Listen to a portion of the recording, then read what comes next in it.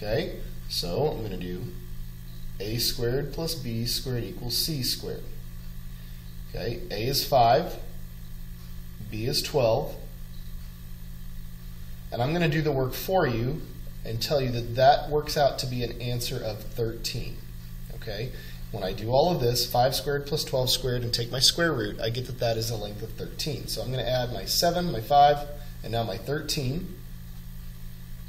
Okay, plus this 12, but that side continues on with this other 7, so I'm going to add another 7 to it, plus this 5, plus, if you remember on the front side of our notes, I said that when we are using half of a circumference, I just divide that by 2. So really it just is pi times the radius. Radius is 2 and a half, and then I put a pi after it. And so if I add all those together, letting my calculator do most of the work, all of these numbers without a pi combine to be 49, but then I have a plus 2.5 pi. And when I plug all that in the calculator, I get a perimeter of approximately 56.85. And that's how you find area and perimeter of composite figures. You are now ready to start on your worksheet, which will look like this. Now, you will not have these red lines drawn in.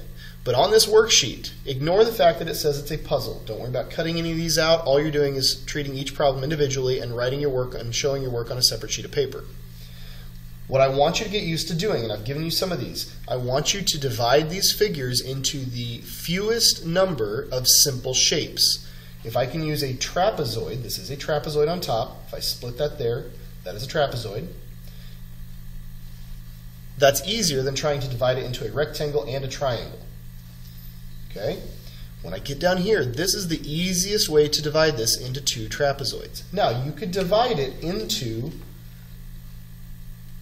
a rectangle, a triangle, another trapezoid, or a square and a triangle. You can divide it as many times as you need to, but it's easier if you just make one division and try and keep it as simple as you can. Okay, so try and work on these. You can work together with a partner if you need to, but keep it quiet and work diligently for the remainder of class.